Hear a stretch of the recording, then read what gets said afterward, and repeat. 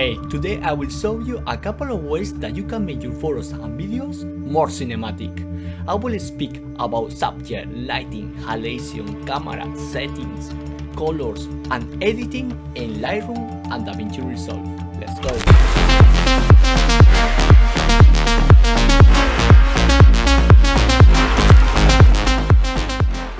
What is cinematic?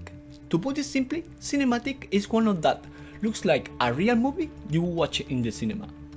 Personally, I think to get the cinematic look is more impressive at night than during the day. Technically, shooting a good sunrise or sunset, you can get a beautiful light and get the cinematic look, but everything looks more mysterious at night.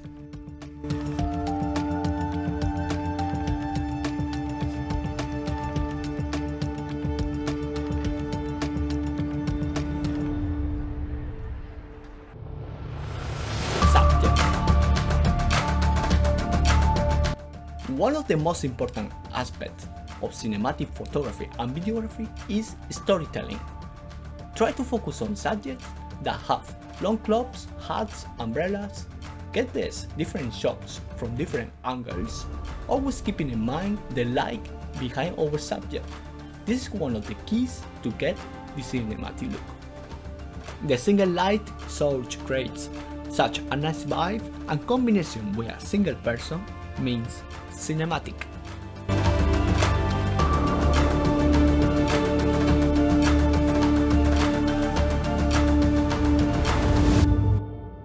Light. When the light interacts with texture such as fog, rain, and smoke, this creates a really cool effect. The results help to give the image more deep. It helps to put your subject away from the background because there's so much textures between the subject and the background.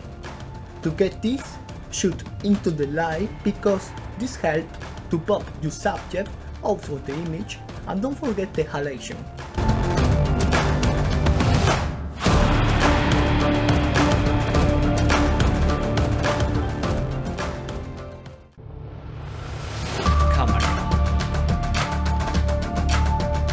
Honestly, I think you should have a good camera, good sensor.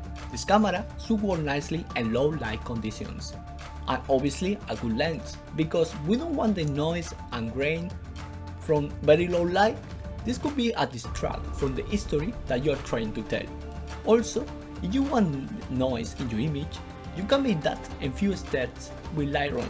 I have a quick tutorial for you, link in the description box. About my camera, I use the Canon R6. It's the camera I'm using right now. It's working really well in low light conditions.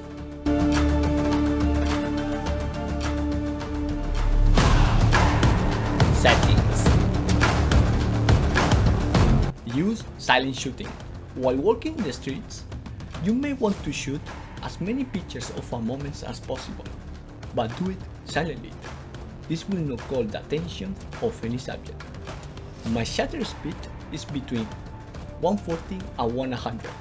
My ISO is between 500 maximum 1600 and my white balance is 4700. I really like this kind of orange.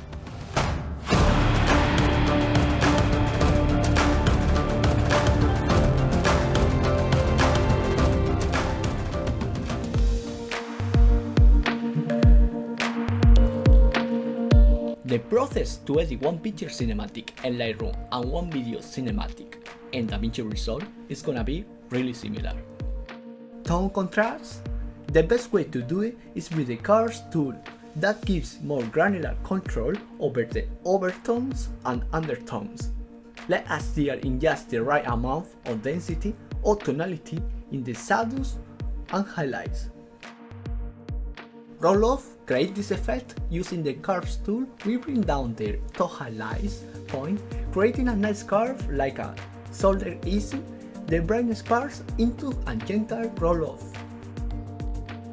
Milky blacks shadows never pitch blacks.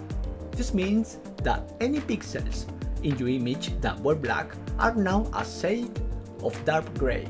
spread down in the total range in the waveform. To create this, bring up the very bottom point from absolute blacks compressing the tonal range and creating a need between the undertones and the shadows. Color is a very important element in the scenes. It can change the way we feel about a film and photo. Color can make us feel happy, sad, or fearful. Color can change the mood of the film and set the tone. One cinematic popular color is teal and orange look. To create this in Lightroom, pick up your brush and use the saturation. To create this in DaVinci Resolve, use a qualifier to select skin tones after inverted and push some teal into the shot with the color wheels. Use the luminance saturation curves to clean up the shadows. Color density. Notice how the certain colors and skin tones looks more rich and dense. To create this in Lightroom, to create this in DaVinci Resolve, use the Luma versus Hue curves by isolating the color range with two points and then a middle point, we can drag it down to match the color density in the skin tones. You can also play around and do the same thing with other colors like a red and blue. Halation. Notice a reddish or orange glow near the contrasting boundaries of overexposed areas. One example of halation is CineStyle 800T. CineStyle 800T was designed for tough low light situations. To create this in Lightroom, edit your color grade and rest the edit in Photoshop with Gaussian blur and linear blur. To create this in DaVinci Resolve, see it? Halation effect. I hope this is useful for you Thanks for watching this video, don't forget to smash the like button and I will see you in the next one.